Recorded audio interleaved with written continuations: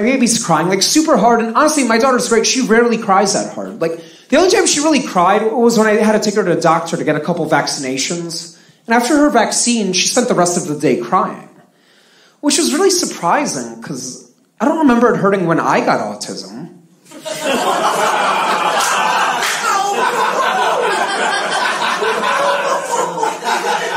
But it was either that or measles, so I chose to let her live. I chose life.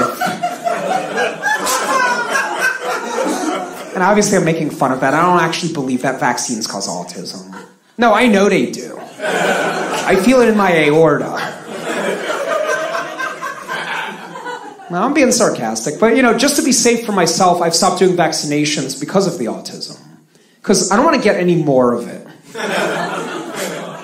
It's good that you laugh there, but also hurts my feelings a little bit. See, I, I feel I have just the right amount of autism. Which is like having the right amount of alcohol. You know, a little bit and you're fun and focused, but too much and you can't talk. Here's how you know I'm actually on the spectrum. I kept going on and on about that, although most of you were not on board.